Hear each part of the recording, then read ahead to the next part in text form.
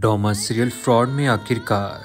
माया ने फैसला कर ही लिया कि इस बार वो हर हर मुमकिन कोशिश करेगी कि इस बार वो शजी को सजा दिलवा कर ही रहे। जिन लोगों के साथ भी उसने जुल्म किया है, उनको इंसाफ दिलाकर रहेगी। उधर शजी को, शजी के बाप के मरने की खबर भी मिलेगी। आने वाली किसकी मुकम्मल कहानी में आप सभी दोस्त देखेंगे। यह लैपटॉप पकड़कर शजी के बारे में सबूत इकट्ठे कर रही है। लोगों के साथ रबते कर रही है और पेजेस के ऊपर पोस्ट भी कर रही है कि अगर किसी के साथ जुल्म हुआ है या किसी के साथ भी किसी तरह की भी ज्यादती हुई है तो वो मेरे साथ रबता कह सकते हैं। दिन रात उन्हीं कोशिशों में लगी होती है कि उसकी माँ उसके पास आ जाती है और कहती है कि, माया बेटी, क्या तुम कर रही हो? क्या तुम्हें कुछ हासिल भी होगा या नहीं? यहाँ पर माया कहती है कि, यहाँ पर अकेला शजी नहीं है कि जो लोगों के ऊपर जुल्म कर रहा है। उस जैसे और भी बहुत सारे हैं। मैं किसी को भी नहीं छोड़ूँगी। एक एक से गिन गिन के बदला लूँगी।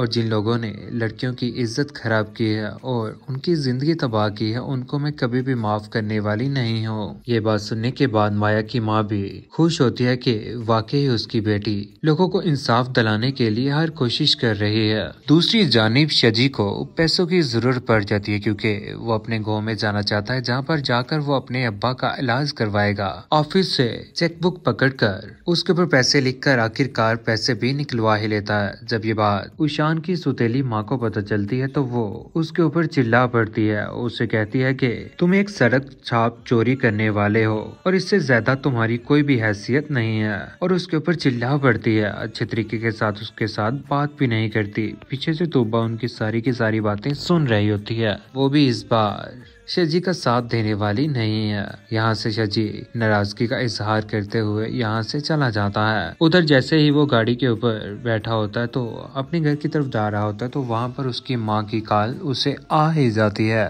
उसे रोते हुए कहती है की, तेरा बाप अब इस दुनिया में नहीं रहा। यही बात सुनने के बाद शजी बहुत ज़्यादा परेशान हो जाता है और उसे भी एहसास होता है की वाकई उसने ज़िंदगी में गलत किया है और जो कुछ भी उसने किया है, आज उसी का खमियाजा उसे भुगतना पड़ रहा रहा है। आखिर यजी ने सारी ज़िंदगी हराम ही कमाया। लोगों के साथ धोखा ही किया, जिसकी वजह से आज उसका बाप भी उसके पास नहीं है और अपनी फैमिली को अच्छे तरीके से टाइम ही नहीं दे पाया। सिर्फ़ और सिर्फ़ उसका एक ही मकसद था, लोगों के साथ धोखा दही फ्रॉड करना और माल हथियाना। वहीं पर सोचों में घूम रो रहा है। उधर उशान ने भी फैसला कर ही लिया कि वो इस बार घर छोड़कर चला जाएगा। उससे पहले वो अपनी माँ के पास जाता है और उसे कहता है कि कहते हैं कि माँ की कदमों के तले जन्नत है तो आप भी मेरी माँ ही हैं। उनके कदमों में बैठ जाता है। सुतेली माँ फ़ोन कॉल सुन रही होती है कि यहाँ पर बोल पड़ती है, कहती है कि, लेकिन मैं तुम्हारी सगी माँ नहीं हूँ। उशान कहता है कि, सगे और सुतेले का, मैंने तो कभी भी ये फ़र्क नहीं देखा कि कौन सगा है, कौन सुतेला है। मैं यहाँ से जा रहा हूँ। आपको और आपकी बेटी को ये घर मुबारक हो।